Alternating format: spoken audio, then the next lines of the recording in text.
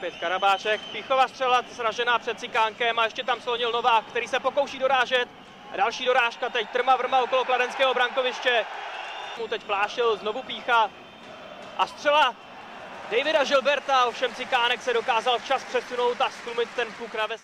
Chtěl projít po pravém mantinelu, ale narazil na slovinskou zeď jménem Žiga Pavlina, teď Václav Karabáček, jeho pěkná na modré čáře.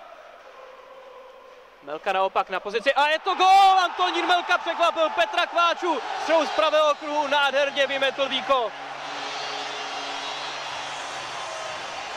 Tak z té pozice, která při přesilové hře obvykle patří. Vampola tam teďko zajel pod hokejku a ještě to zkouší u přední tyče.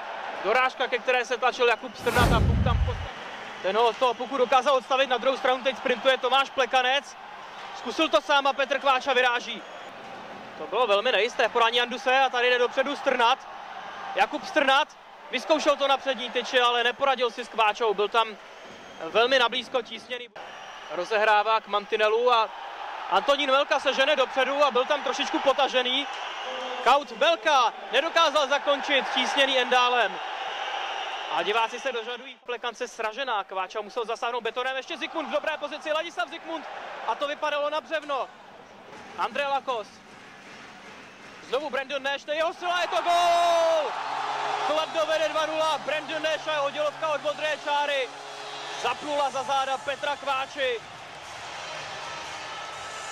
No a necelých pět minut před koncem Melku. Plekanec ještě hledal Melku a Melkova střela Kváča dokázal. A tady jde dopředu Kladno, Jaromír Jágr. Jágr v úniku, jeho střela tyč. Ještě Plekanec tam nedokázal zahrát ten puku mantinelu, ale velká...